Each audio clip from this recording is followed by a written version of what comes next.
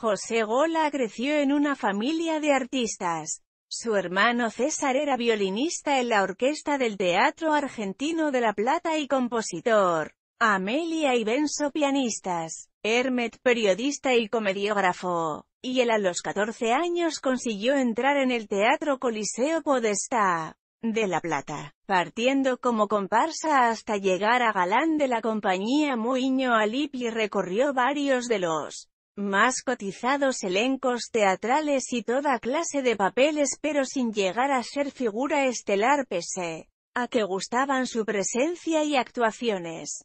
En 1936 José Gola trabajó en la compañía argentina de grandes artistas Los Ases, dirigida por Luis Bayón Herrera. Julio F. Escobar y Félix Blanco, la que en tres secciones como se acostumbraba representaban sainetes, comedias y hasta dramas históricos como La Parda Mariana Artiegas, de Pablo Suero, que retrataba estampas de la vida porteña de 1810.